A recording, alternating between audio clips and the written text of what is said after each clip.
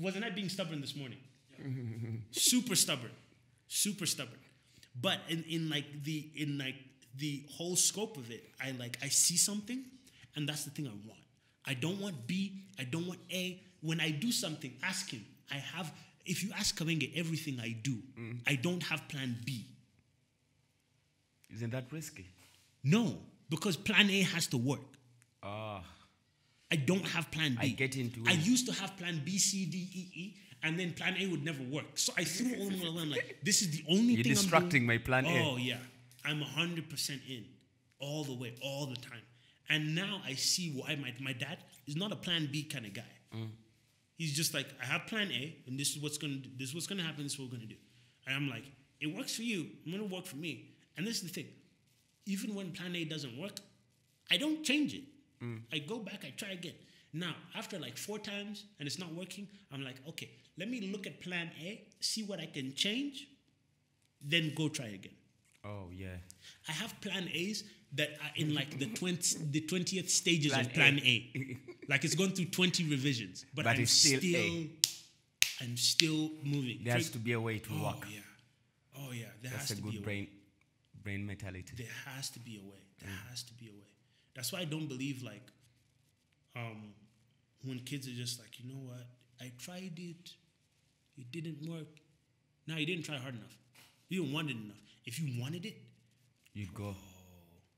what what would stop you if the, behind that door, if there was a billion dollars? It's yours. What's what's gonna stop you? Your energy to get it. Bro. I'll die. I'll, I'll be scratching through the doors using my teeth, everything. But this is the thing people won't do that for their dreams. Yeah. Or maybe, maybe it goes back to we need this encouragement. Like for, for my story, it's it's the failures that I got into and knowing I couldn't run back to my parents' house that made me feel like, so what next? Yeah. You have to get up and try again. Oh, yeah. You have no. That's you- good. Like I didn't have plan B. I had to stick to A. I I, Oh, I, yeah. Mm-hmm. I had to still keep going, mm-hmm. keep going, keep going. If it doesn't work, I have to keep going. I have no plan B. I'm not running anywhere else. Yeah. That's good.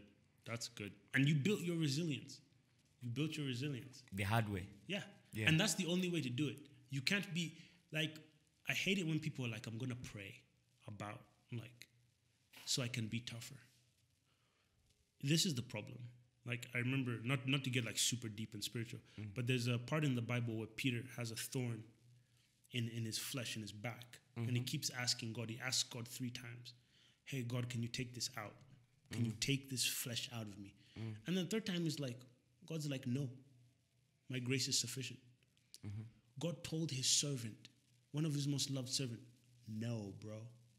I'm not I'm not helping taking you. it. My grace is sufficient. And for me, that's this is what it taught me.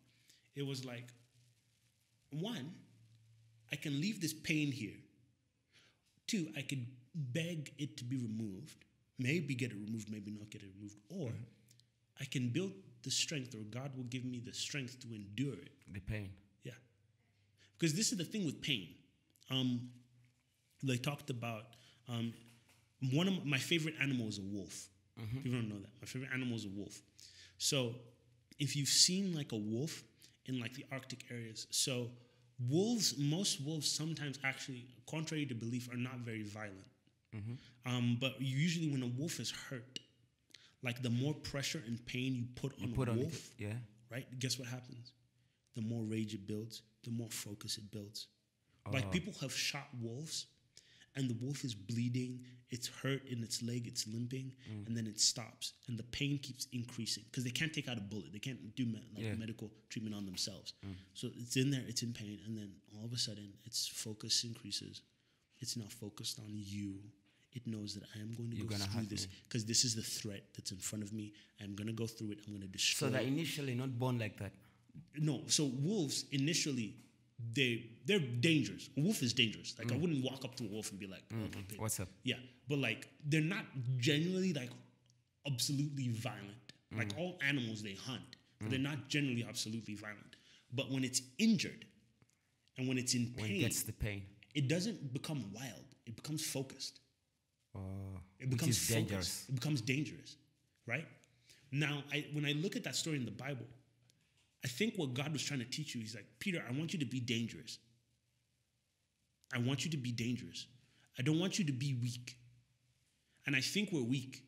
I think genuinely as humans, mm-hmm. like in the in the caveman eras, dude, we were we were killing mammoths, we were killing mountain lions, and then eating them for breakfast. Mm. But now, dude, we wake up in the morning and it's raining. We go back in bed, cover ourselves, go to sleep. What went wrong? Evolution. We evolved. We evolved in a way to where we made things convenient, mm-hmm. but we did not like allow ourselves or give ourselves the ability to, to make some things difficult. Oh yeah. To make something Wanted difficult. everything Oh, easy, a remote control, oh, oh, a car, Oh, AC. yeah. Everything, everything just became super easy. Mm-hmm. Everything just became super easy. So And it, it hit in our head that life is mm-hmm. okay. then just like oh i can i don't have to go through that to get this. I can do things this way. Mm. And i remember like with me my like i love my dad because i grew up i have a, i grew up with a good life. Like i don't like i don't lie to people about my life and make mm. things tragic. Like most of the issues i've had in myself i usually brought on by myself or what something i did. Like i was raised in a good home. Mm. Both my parents are there. But one thing i remember yo my dad was not about the nonsense like he was not. Like he was very like you put in the work that's what you're gonna get. And i remember i was at i was at a track meet. I was at a track meet and um i twisted my ankle. This is a story i've never told anyone this story. Have